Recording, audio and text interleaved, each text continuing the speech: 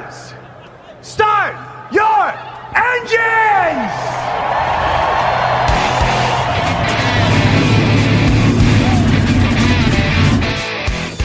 Hit the pace car! What for? Because you hit every other damn thing out there. I want you to be perfect. When I'm driving, I got a guy on the radio who talks to me. You can see him, but he talks to me.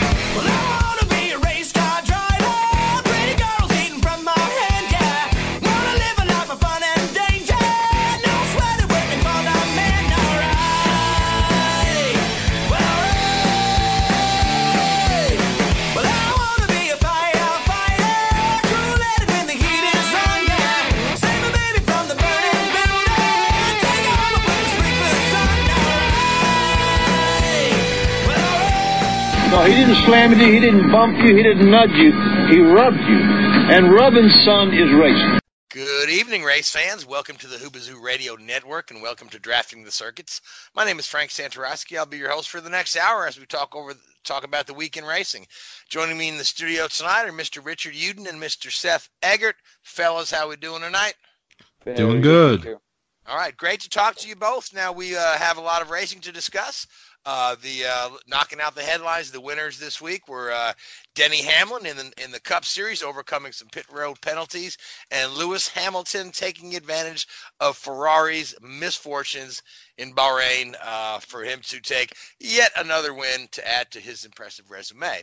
Uh, before we get into uh, the racing news this week, um, Seth and I earlier today had a chance to catch up uh, with young Hailie Deegan, who's a Toyota development driver uh, running the ARCA series and also running the K&N Pro series. Uh, she was kind enough to join us earlier today, so uh, we're going to go ahead and just play that um, interview segment for you now. W-H-O-O-B-A-Z-O-O, that's Whoobazoo.com. Enter website, enter website, enter website, enter website. Uh, we have Hailie Deegan in with us, Toyota development driver who drives for Bill McNally Racing in the K&N series and also runs some ARCA races with Venturini Racing. Um, how are you, Hailie? I'm doing great. Just hanging out, racing, all good. Yeah, yeah, we're very pleased to have you on the show here. So, uh, uh, before we get started, just so our viewers can know a little bit about you, I'd just like to talk about your background a little bit. I mean, you come from a racing family. Um, your dad is well known among folks that enjoy uh, off-road racing and the X Games, and I believe you started uh, with off-road racing as well, and now you've transitioned to asphalt. So, uh, I'd just like to talk a little bit about your early career and um, how how that transition to asphalt is going. Yeah, so I got my start in racing when I was eight years old in off-road trucks. Um, I raced that till I was about 15, 16 full time. Um, I won two championships there, tons of races, and I ended up making a transition into stock car racing just because it's a bigger career, bigger future I could have here. And it's been going great in our first season of K&N. Um, I won a race, got a couple poles, started out this season. Um, I ended up winning a race and getting another pole, so it's been good. And like you said, you started off on off-road uh, racing. Have you ever had a chance to compete against your father? I really haven't. No. Uh, and would you like to do that one day, whether it's in a trophy truck or maybe say the Eldora truck race or one of the K&N dirt races? Yeah, I feel like if we put my dad in off like an Eldora truck, it'd almost be unfair just because those trucks handle like stock cars, and he's an off-road racer. So I'd say if anything, maybe racing against him in like a Pro 2 or something in the Lucas Oil Series. And how was your transition from NAS from uh, dirt into NASCAR? Was it easy? Was it difficult? It was, I feel like, easier than transitioning from pavement to dirt. Transitioning from dirt to pavement, I feel like helps you. Um, it'd be really hard to go the opposite way. But in the end, I think it's going really well. It took a little time to kind of uh, get in the gist of things, but now that I'm there, it's perfect. Now you made your uh, stock car debut in the Cars Tour, if I remember correctly, at Tri County Speedway, one of the more difficult racetracks, and then at Hickory Motor Speedway. What are some of the more difficult tracks that you've come across so far in asphalt racing? I'd say there's New Hampshire is the hardest track for me. I don't know why. I figured out that I'm really good at short flat tracks and banked high speed tracks. Uh, flat long tracks, not my strong suit. And so, are you looking forward then to Pocono uh, on the ARCA schedule for you a little later this year? yeah, I mean, the biggest, um, I'd say flat big track I've been on is New Hampshire, which I think Pocono, once you get to the super speedways, it's a little different. But honestly, I don't know what to expect. Um, I'll let you know after. Now, you mentioned that you got a couple wins, a, a number of poles. You broke the glass ceiling essentially in the K&N Pro West Series. I know you want to be considered the best racer, not the best woman racer, but have you ever found yourself comparing your path to, say, Janet Guthrie or Shawna Robinson? I mean, Danica, she didn't really even race in the K&N series, so it's like hard to compare to. If she did, it was just a couple races. Uh, it wasn't like she came up in the grassroots of stock car racing. She was a go karter and the Indy car racer. Um, it's a different path, and I think that it's hard to compare someone to like what you haven't done yet. So I think there's a lot of things that like I could compare to other drivers and stuff. But I think as of now, it's just figuring out what works for me and how hard I can push myself to succeed at this point. So, what do you expect to be your biggest challenge as you transition from the K&N Pro to ARCA competition? I'd say just the level of uh, experience those other guys have on the super speedways. I feel like I'll be just fine like on the shorter track, but as soon as you get to the super speedways, I've never driven on like super speedway type tracks, so it's going to be um, a learning curve for me. But I don't know how it's going to go yet. I think that it's definitely going to be a difficult one, but I'm going to have good teammates that are surrounded around me uh, to learn from. And speaking of uh, teammates and this and that, you have a, a number of younger teammates, uh, Derek Krause, Z- uh, Brittany Zamora, and then in the ARCA series as well, you'll have younger teammates. What do you think of the youth movement that's been co- going across motorsports, whether it's NASCAR, IndyCar, uh, Formula One? There's a lot of youth uh, in racing nowadays.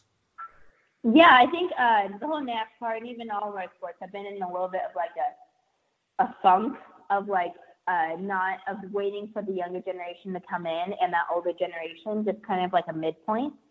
And I think uh, in this, I say about this year to last year has really been the turning point of the younger kids coming up and kind of showing their faces in the higher series. And there's a lot of really good kids that race and that moved into Xfinity and Truck Series.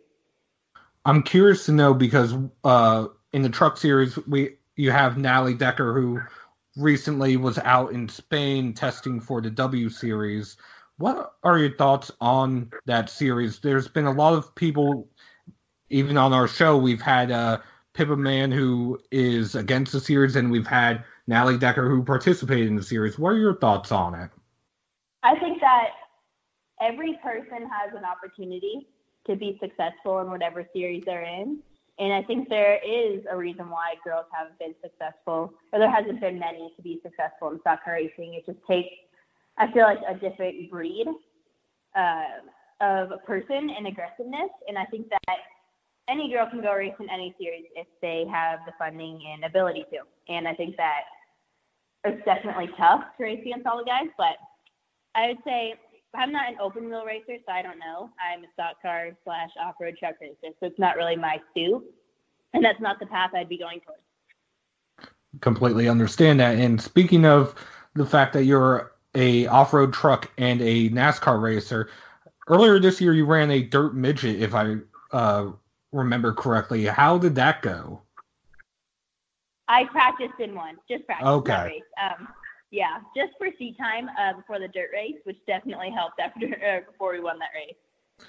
And looking, granted, this might be years down the road, but I know you want to focus on NASCAR. Do you plan on just running maybe when you get to the Cup Series, just sticking with Cup, or running a bit of everything like, say, Kyle Busch and Kevin Harvick do? Those guys that go down and race super late models and go, I think, uh, do stuff like that. And I think it's something that I will always go back and race off-road trucks and do that for fun just because it's where I came from. It's like having Kyle Larson or Ricky Stenhouse go run sprint cars. and I think and uh, Christopher Bell. And I think it's something that where you came from in racing is where you feel comfortable and like at home. And I think I'll always keep doing that no matter what. Who have you gone to for advice uh, for, say, a track like New Hampshire where you said you struggled, or even tracks that you've run ver- fairly well at? I'd say there's quite a few uh, younger drivers that I go to that race trucks in Xfinity that help me out. Um, quite a few of my friends.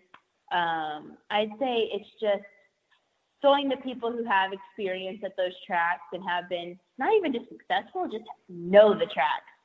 And I think it's something that's just the toughest part is getting around when you've never done something. So uh, just I'd say having simulator time, uh, just getting as much seat time as you can. Now, I'm, I'm curious if you set yourself a timeline to like make it to your ultimate goal, which I imagine is to get into the Cup Series. So uh, you're running ARCA this year, which is a, a good step up from the K and N, and you're, you're running both those concurrently. Uh, so have, have you set yourself a, a timeline? And I know you're uh, you're aligned with uh, the Toyota folks who can certainly uh, help you career wise. Yeah, I think that as of now, I for sure don't want to skip any levels. Like I don't want to go straight from ARCA to Xfinity or something like that. And I think that Oh, I don't think as of now, like I'm fully ready to go full time truck racing. I still think I have a lot to learn in like the ARCA series and K and N series before I make that transition. And I'd say when I do go to the truck series, I want to spend the longer time I spend in the lower series, the better I'm going to be in the higher series. So I want to spend at least two years in the truck series before I move to like an Xfinity type thing. So it sounds almost like you're on a, say, a five-year plan, give or take, similar to what Christopher Bell has been doing. Exactly. Is there a specific track that you're most looking forward to competing at as you move up the ranks? I'm excited for Pocono, but the track that I really like is considered, I think, one of the more shorter NASCAR tracks is Iowa. Iowa is like one of my favorite tracks. And you will be running Iowa later this year in the K&N combination race, correct? Yes. So Hailie, who did you who did you have for racing heroes growing up? I know obviously obviously your dad, right? He's uh he's a big Yeah. star of the X Games, but uh, I mean, who did you kind of really pay attention to and watch? Who did you root for when you were very young watching racing? Oh man, I just I was constantly at the racetrack, so like I don't. I, it's hard for me to kind of like sit at a TV for hours and watch races, but I'm always keeping like up to date, like always watching. Um, and growing up, I didn't watch like I didn't sit there for like five hours and watch a cup race every single weekend just because I was always racing, and so it's hard for me to like do those type things while you're at the track. And so now I obviously pay attention a lot more and watch pretty much every single race, but I'd say for people that I rooted for, I'd say I'm not like a big like have certain drivers, but I'd say right now like one of my favorite drivers is Kyle Larson. I really like his driving style, and uh, I just the whole generation. There's a new generation of racers coming up that have strong abilities. That, but back then I didn't really have anybody. Is there a specific series uh, that you actually do watch uh, the entire race for today, or do you just watch? Series, the Chuck series I watch from start to end. Now you've uh, you're you're transitioning towards or you're shooting towards a you know goal uh, in NASCAR in the upper series, and that the whole series is is in a little bit of flux with transition. We're doing different qualifying things, and and uh, they're they're shaking up the schedule, and they're looking to shake up the schedule again after 2020 into 2021. So, uh, you know, by the time you arrive there, I mean, I mean, what changes? Um, would you like to see for the good uh, to be there in place when you finally arrive in the Cup Series? I would say I, I I don't know about the whole series just because a lot could change by the time I get there, and there's a lot of um, potential for the series to change with uh, how sponsors are title sponsors. I know that has a big part in it, which I don't know. I honestly, I'm a racer. I'm there for good battles and good racing, and so that's what I'm kind of hoping for. just curious. Uh, speaking of changes, if they were to say add in a dirt race to either the Xfinity Series or the Cup Series, would you be all in favor for that? I'd be 100% in favor of that. just because I know it'd help me. Hailie, um, we wish you well in your upcoming season. I would like to uh, give you a few moments just to go ahead and plug your sponsors and plug plug your teams. Um, let us know where we can see you racing. Let us know where we can find you on social media uh, for our listeners. Yeah, so I usually am on Instagram and Twitter just at Hailie Deegan, but I have all like my merchandise and stuff at shopdeegan38.com, which is like our family merchandise site. Um, all my merch is on there. That's pretty much it. All right. Well, well, we really appreciate you coming on. I know you have a busy schedule, and we really appreciate you taking out some time for us. So uh, we wish you well in the future, and then hopefully after you win a few more races, uh, we'll get you back on the on the show here later in the season to talk about uh, you battling for the championship. How's that sound? Sounds good. All right. Thank you so much. Thank you, Tia. All right. Bye now. Okay, that was Hailie Deegan. Um, very, uh, very impressive young woman, Seth. Wouldn't you say? I think she's got a great career ahead of her. Yes, indeed. And she is going to be running this weekend for a combination Bill McNally uh, and Venturini car in the K&N Pro West East Series race at Bristol. And you can watch that live on fanschoice.tv on f- Friday, I believe. All right. And again, I want to put a big thanks out to uh, the Toyota Racing Development folks for um, setting that interview up for us. So uh, we wish her the best of luck at Bristol. Um, speaking of best of luck, uh, Charles Leclerc certainly didn't have uh, the best of luck uh, this past weekend in the Formula One race. But uh, I mean, on the bright side, during qualifying uh, during the race, um, Ferrari or Leclerc, you know, specifically, seemed to really be the have the the upper hand against the uh, Mercedes. Yeah, I mean, you, you, we we talked about post post Melbourne how poor um, Ferrari appeared at uh, you know down in Australia there, and Mercedes was saying, look, you know, this was a one-off. Ferrari will get it right, and you know what? they sure did in Bahrain. Um, you know, they they really sort of pushed the car and um, you know really sort of showed Mercedes that they're a good, you know, good four five tenths of a second faster over a lap in qualifying, um, which I think is what everybody expected post preseason testing. Uh, so all throughout the weekend, uh, Charles Leclerc seemed to have his have an edge over uh, over Sebastian Vettel there, and it's it's an interesting dynamic again. I think looking at the bigger picture, not just how competitive Ferrari are, but are you going to see a similar situation to we saw a few years ago at Red Bull, where Ricciardo came in and, and really pushed uh, Vettel and maybe sort of slightly, I don't want to use the word tarnished Vettel's reputation, but started to put him on the back foot a little bit. Um, so that's a fantastic battle that we're going to see, you know, throughout the end, you know, through the rest of the season. Obviously, Ferrari has said that, you know, they've got to, in all but say we're going to implement team orders, but you know they didn't this weekend really. Uh, they told Leclerc at uh, at one point to, to wait two laps before he fast Vettel, and he didn't listen to that advice. But um, you know, it's a fantastic, you know, it's a fantastic race by by Leclerc. I mean, this is what you've really grown to expect for the last two or three years. You know, watching him come through the junior category, and um, you know, watching him last year at Sauber, he, he's been very, very impressive. And you know, he's starting to. I mean, gee, he's only two two races into his Ferrari career, but you know, this guy's this guy's the real deal. I think the way he handled himself and his attitude um, was was spot on. But Yeah, I um, feel like I feel like he did a great job. But um, Oh, uh, you you know, back to yeah, back to Vettel for a second though. He's currently, uh, as always, is being crucified in the press and in the public eye for Mm. cracking under pressure. You know, which is. I mean, do you feel like he was really cracking under pressure there? I, I know he made a, a couple of mistakes there, a- and, you know he damaged the car, and, and we saw the, the the front wing come flying uh, off the nose and up under the car, uh, which was pretty spectacular in a night race with all the, the Yeah, sparks flying and was some- whatnot.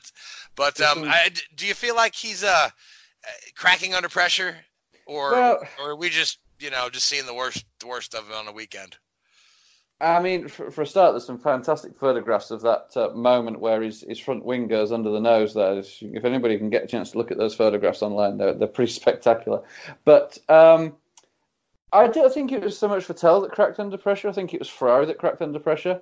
You, you look at previous seasons where it's been, you know, Mercedes out front and Ferrari in third and fourth, for example, and Ferrari have short stopped somebody Mercedes haven't always reacted in the same way, or if they have reacted, they've typically managed to maintain that gap.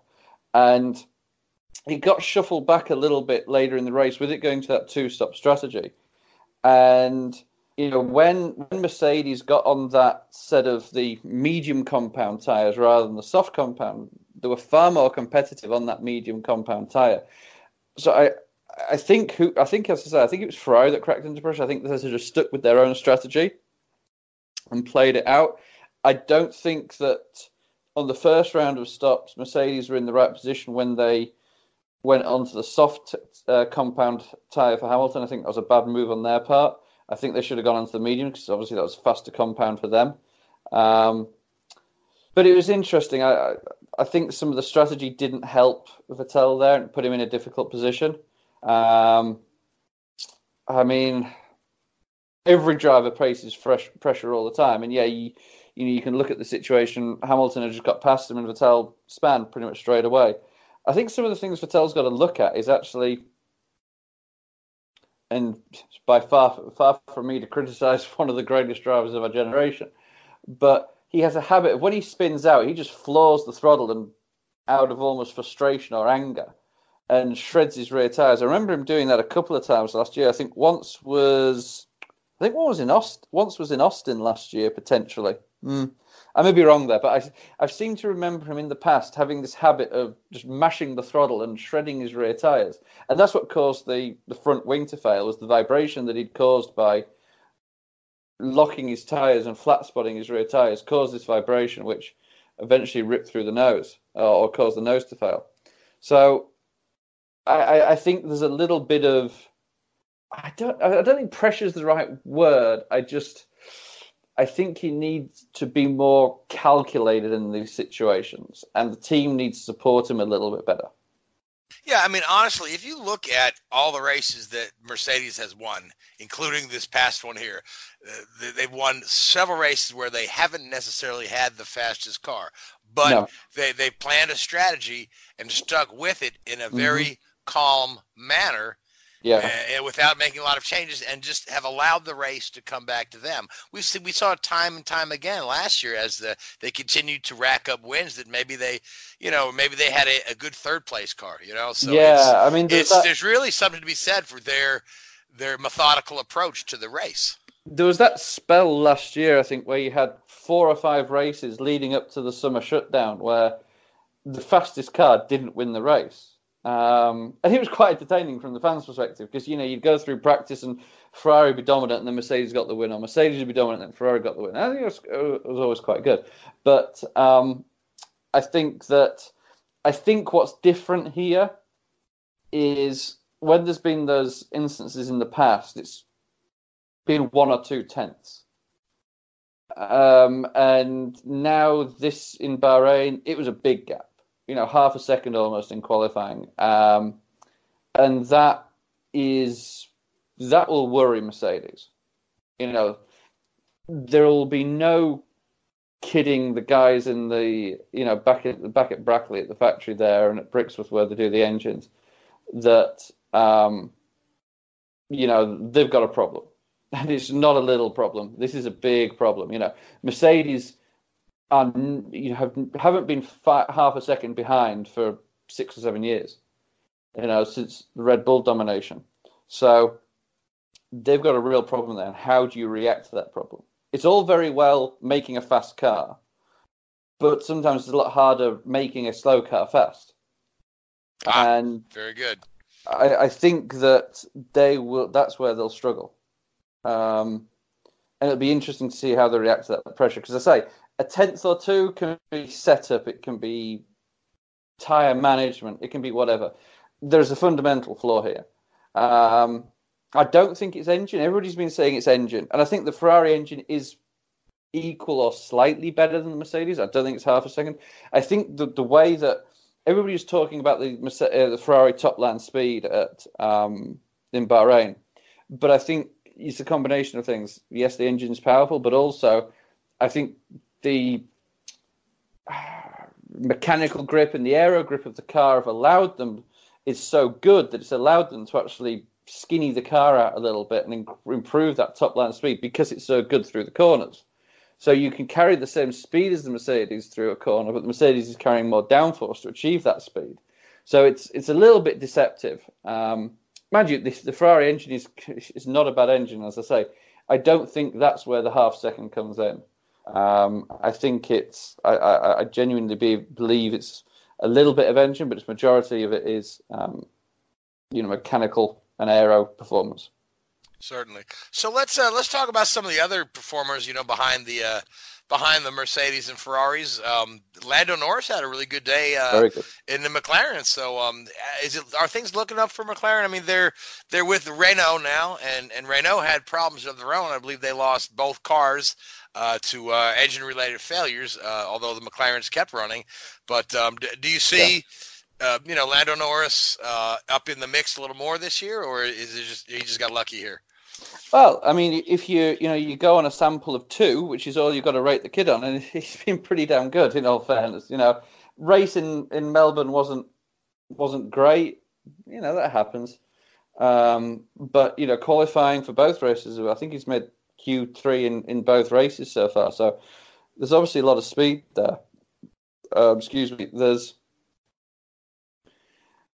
you know, Sainz I think has retired from both races now. He did retire with a couple of laps ago with gearbox issues, and he got caught up in an incident earlier in the race, so he was off strategy. So it was difficult to really put into context where um, where Sainz was, but certainly they are going in the right direction. I think is a fair statement.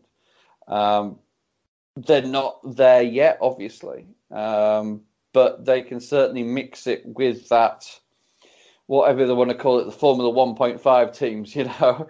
Um, you, you've got the likes of Renault, Haas, McLaren. They're going to be fighting for that seventh place in reality behind the Mercedes, Ferrari, and Red Bull. So that's going to be a, probably as good a battle as the front three teams, really. Um, I think I think Red Bull have been could have drifted a little bit and have sort of sat in that solid third place while Ferrari and Mercedes thrash it out. Um, but you know what teams like McLaren, Haas, uh, Renault have got to do is they've got to be around there at the end of the race when the big teams have the bad races and have a couple of retirements or have an accident or whatever it may be, and pick up the fourth, fifth places in, those events. Um, one one team that I, I, thought was very disappointing over the weekend was uh, the Haas team. You know, qualifying was great for them. Again, Magnussen up in sixth or seventh, I think it was, as a qualifying performance, and just just went backwards throughout the race. There'll be a lot of head scratching going on at, um, at well, whichever base they're based at in uh, in Haas. That seems to be spread all over the globe, but um, you know, not not really what you want to see. It's it's almost like a history repeating itself from from 2018. Um, you know, they've built a good car there and worked obviously quite closely with Dallara on building a pretty pretty quick car though with that Ferrari power unit. Um, but they're just making too many mistakes, and people will turn around and criticise the driver lineup, and you know, right, quite rightly and wrongly in some cases. But that wasn't Magnussen on Sunday. That wasn't his fault. He's a better driver than that. So um, you'll have to look at that. And then, as you say again, Renault seemed to sort of hit the self-destruct button in more ways than one. I mean, you saw from the onboard, Hulkenberg had a huge engine failure. Something you know was rattling around in there. It sounded like a stone in a tin can, um, which is never good from a from an engine.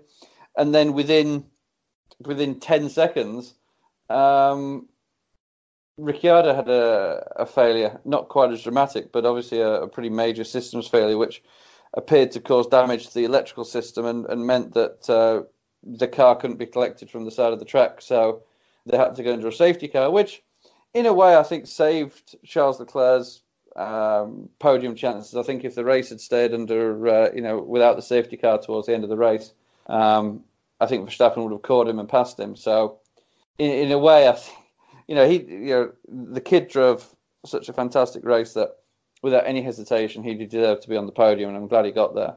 Um, I thought that, you know, Hamilton's comments post race, even on the warm down lap, were fantastic. Um, you know, I'm not Hamilton's biggest fan. I think that's, that's pretty well known, but you got to give credit where credit's due to the kid, and uh, you know, he he handled that situation really, really well. And talking to Charles post race and the things he said on the radio were very, very good. I thought some of the actions by some of the Mercedes guys in the garage, Toto Wolff excluded, he was, you know, I think he he got the bigger picture. But some of the mechanics jumping up and down and clapping when Hamilton passed Leclerc. I mean, it wasn't exactly a wasn't exactly round the outside of Eau Rouge, was it? Really? I mean, come on, guys.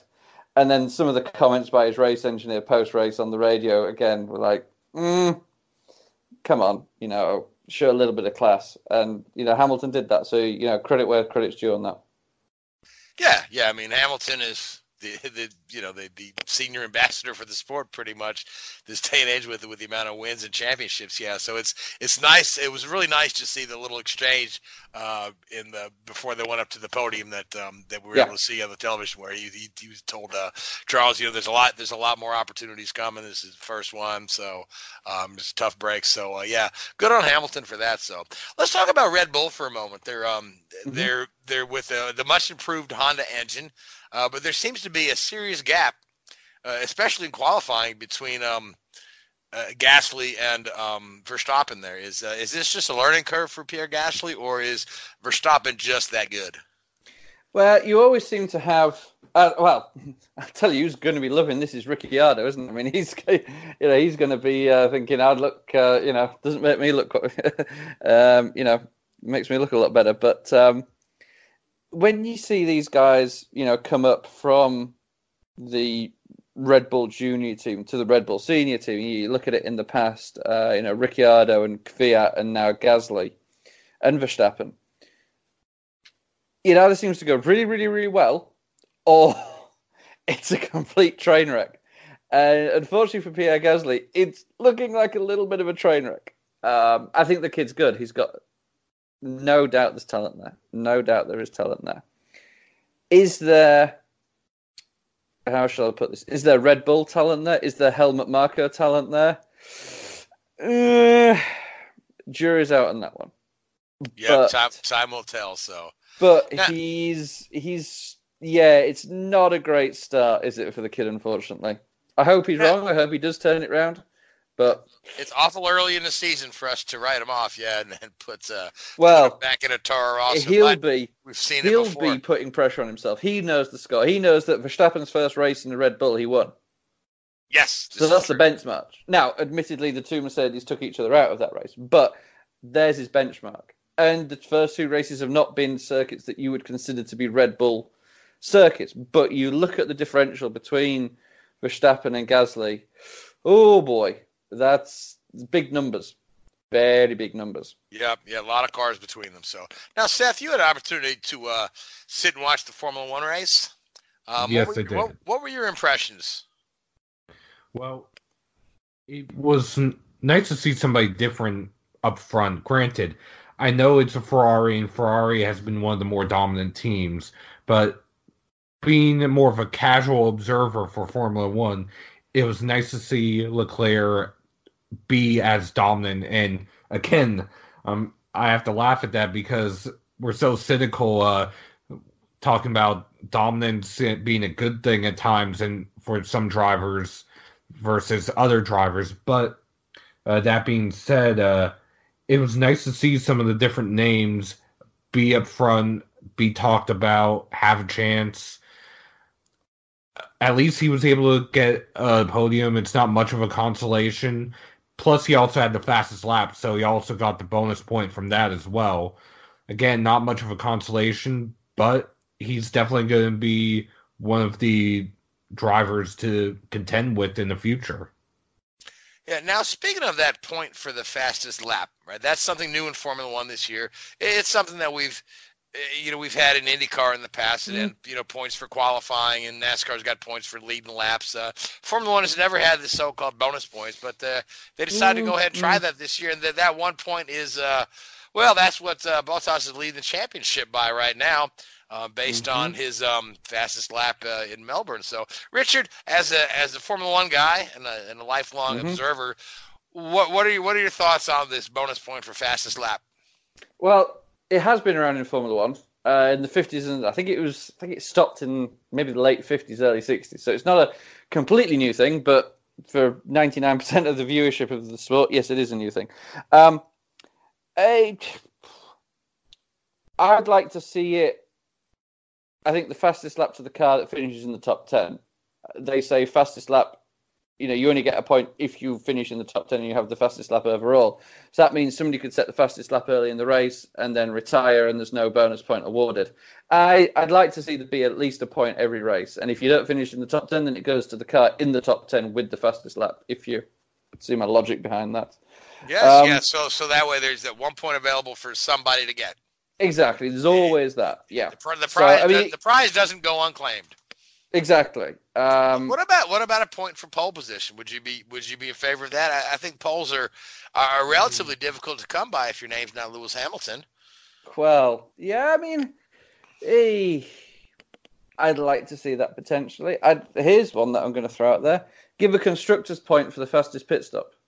Just to the constructor, not the driver. Just to the constructor. Give a constructor's point for the fastest That's an stop. interesting one. Yeah, yeah. Um, but for for a pole position, um, yeah, I mean it's uh, you, you're rewarding skill, aren't you? At the end of the day, you know that's Yeah, that's the purpose of yeah. it. You're rewarding a skill, and it's not, you know, it's not luck. You don't get fastest lap by luck. You don't get pole position by luck. You don't get some of these other re- rewards by luck. I, I wouldn't agree with doing the most laps led. I don't think that because in Formula One, that's generally quite static. It's not like cup race, cup racing where you can lead 400 laps and then somebody punts you out the race and you know you don't uh, don't get any points for it. But um, no, I I wouldn't have a problem with fast with pole position as well as, as long as the, as long as it doesn't get silly. As long as you don't get where you get five points for qualifying first and four points for qualifying second or something like that. You know, as long as they stick just a point because yeah, enough. yeah. They, they tried that ridiculousness with the Indy 500 a couple years ago. Yeah, you know, all, all the it- points for qualifying. I'm glad they yeah, uh, it, they, it, they backed away from that one. it rewards, you know, an achievement, but to the same extent, it doesn't have a huge bearing on the championship. I mean, at the end of the day, fastest lap and pole position would be 42 points over the course of a season, so that's nearly two races. So, you know, it could have quite a, a, a bearing on it, and it would be interesting to look back historically over the last five years if it would have changed the outcome of any of the championships. Um, mind you, I don't think it would have changed the outcome of pole position, but you could potentially say it changed the outcome of fastest lap because, you know, a guy could maybe not push, and whereas like Alonso in Abu Dhabi in whenever it was 2012, possibly, um, when he was with Ferrari and had a chance to win the championship but couldn't get past um, Vitaly Petrov, you know, he could have backed off by five, by five or ten seconds and had a gone for fastest lap, and that could have won in the championship. I am speaking off the top of my head here. I don't know that's for a fact, but it would be interesting to have a look at the statistics and see if the championship outcome would have changed over the last, um, you know, five or ten years. Oh, certainly. I mean, that's what whenever there's a, an extra point or two available, it, it changes your strategy towards the whole thing. I mean, just look at you know NASCAR with all the different kind of bonus points they have now. They have the the stage points, Yeah. and if you recall, you know, year before last, Martin Truex was able to sail all the way through the playoffs. uh, You know, based on the amount of stage points he had just kind of Yeah. stockpiled through the whole thing. Yeah, there. and- and, it lead, uh, lead to a championship for him. Yeah, and I don't think that's a, that, you know you couldn't have anything, you know, um, affecting that. Uh, you know, the the one issue I have with cup racing, the way they do their playoffs is, you don't necessarily get the best driver winning the championship. You know, t- you typically you get somebody there or thereabouts, but I think, in all fairness, and you'll probably admit it, Joey Logano was he the most dominant driver in 2018? No. You know, you have to look at a Kevin Harvick or a Kyle Or- or Busch or, Kyle something Busch, like that. absolutely, yeah. But You know- but at the same time, it's it's patterned after stick and ball sport. Does it does the best football team of the year always win the Super Bowl? You know, you Uh, remember, remember no. when the Giants beat the the Patriots when the Patriots were sixteen and zero? Yeah, for And sure. it's- so it, it's it's who's ever yeah, don't best, remind me about that one. who's ever who, who's, who's ever best on that given day. That's and that's that's the price you pay. But Who- it's a who- marathon, not a sprint. You know, Exactly. That way, on the bright side, you know, it's they, they just take it down to four drivers. They don't say everyone in the chase, whoever finishes, you know. So, but it always does. It does open up the possibility that that all four, you know, championship drivers can crash on the first lap at the season finale, and whoever whoever stops closest to the finish line will win a champion. you know, it, Oh, it- yeah. it could happen. It, it hasn't so far. I believe every year in that playoff system, the the the champion has actually won the season finale. Am I correct, Seth? Uh, Correct for the Cup Series. For the Cup Series, of course, of Yeah, course. So, that's uh, that's convenient, isn't it? Um, well, this this would be a nice ooh. be a nice segue to start talking about the NASCAR race. But before we do, um, Richard, are there any other any other stories in Formula One that we want to touch on before we before we move away too far from it? So today and tomorrow, or Tuesday, Wednesday, uh, depending on when you're listening, obviously, um, is the first in-season test uh, post Bahrain. So the highlights from that from the first day of that test have been Alonso back in the McLaren, working as a Pirelli development driver, who said the 2019 McLaren's better than the 2018 in every way. Um, strange that he's not in it then. Hmm. Anyway, um, and also Ferrari uh, put a young kid called Schumacher in in their car. Um, I don't know if he's got any pedigree in racing or not, but he seemed to do okay. yeah, how, Um, yeah how, how did Mick Schumacher? I didn't get a chance to look up, at the he time. ended up finishing second in the timing sheets. Uh, Verstappen was fastest, and Schumacher was about three tenths behind, but on the soft compound, whereas Verstappen was on the hard or the medium compound. So, if it rolled over from the race, you're talking about maybe three or four tenths of a second different, maybe half a se- half a tenth, half a second different in those com- tire compounds. Mind you, it did rain today in Bahrain, so that throws a little bit of a And shake and- up to those numbers. and if I remember what I read correctly, uh, this was the first time since 2003 that you had both the Schumacher and Alonso on the same timesheet, and the first time since I think '94 that you had a Verstappen and a uh, it could well be. Schumacher on the same timesheet. Yep. No, you- you're very right. It could could well be. Um, as obviously, I don't know if Magnussen was in there as well. I don't know if Magnussen tested today for Haas, but you could throw that because obviously his father did a few races for for Stewart Racing there in the in the mid to late nineties. But um, I mean, briefly, Yeah, want to now wasn't wasn't Pietro Fittipaldi testing as well? Yes. So so yeah, so you've got a Fittipaldi on those timesheets as well. You know what I mean? You, get, Oh, you get yeah. all, all all these great names. you do. back, so. Um, but you quickly just took up to touch on on uh, Mick Schumacher. It's, it's a very strange career, really. Um, you know, did a little bit in some of the German junior categories, and then had a year in Formula Three, and didn't really dig up any trees in his first year. You know, I think he got a couple of podiums here and there, and finished like fifth or sixth in the championship. You know, a solid run, but nothing amazing. And then for the second half, second season he was racing in that series. Again, the first half of the season, nah, pretty bland. A couple of podiums and you know solid point scoring, nothing crazy. And then mid-season, he just goes on this run where he, where he wins like eight out of the last ten races and and claims the championship. So,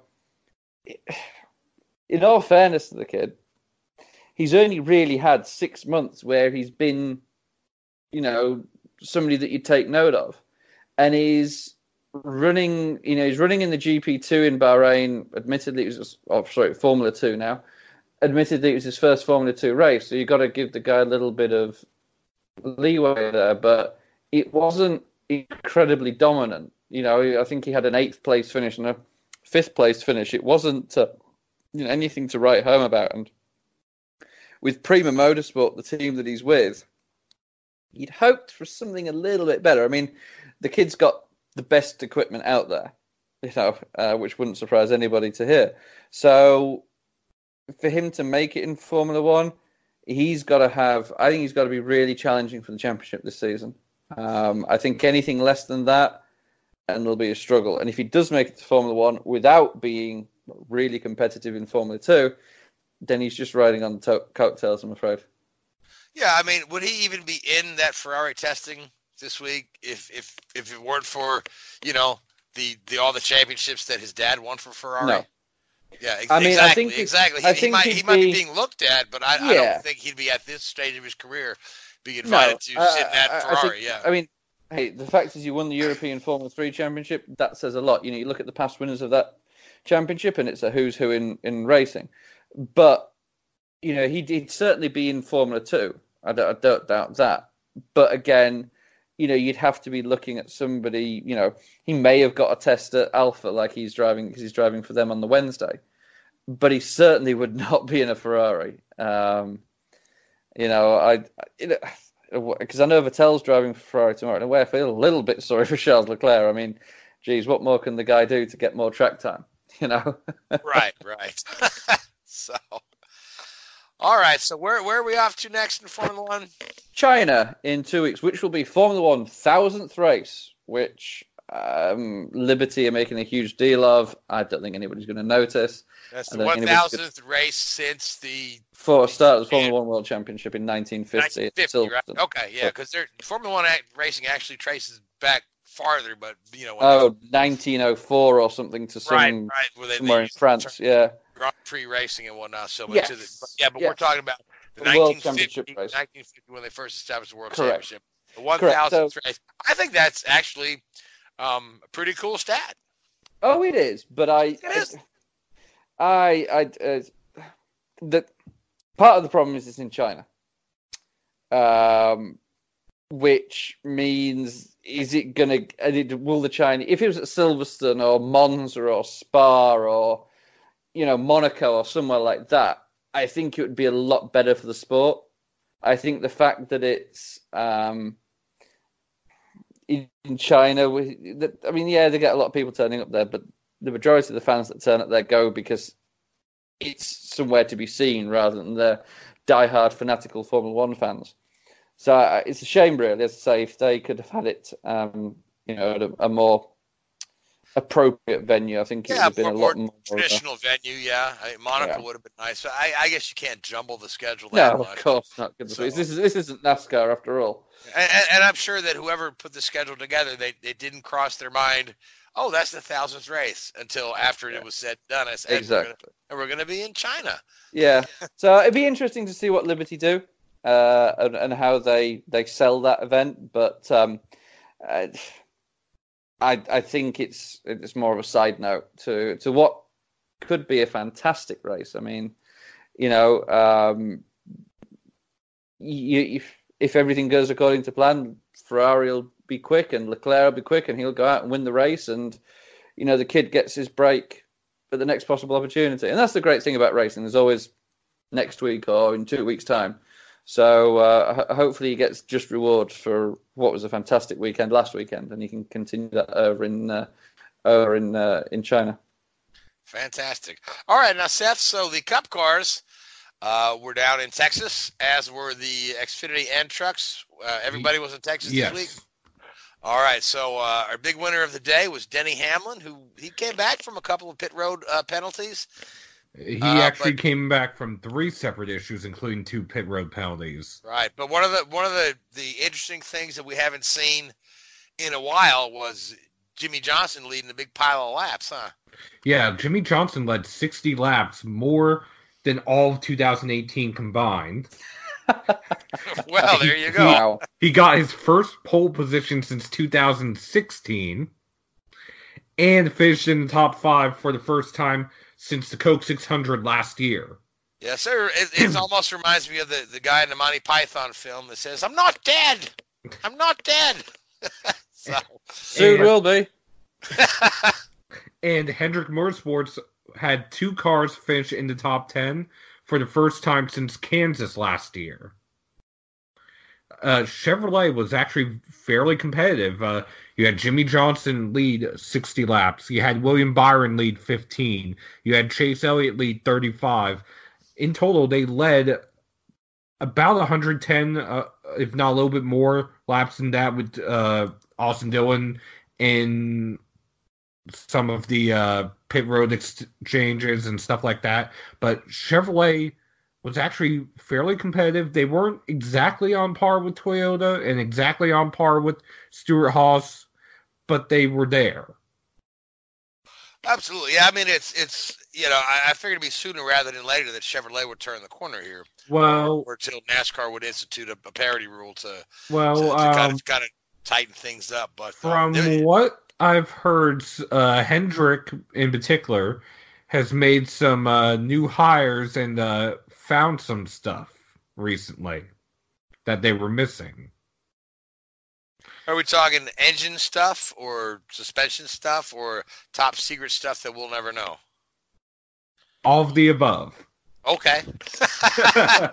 well, whatever, whatever, whatever it was they found is certainly translated to uh, them having a much better, better showing at the track on the weekend there. So Yeah, it was a good showing, and the race But, overall uh, was the race overall was pretty much what we've expected uh, from this package. A lot more like uh, the truck series, in which you couldn't get away from each other.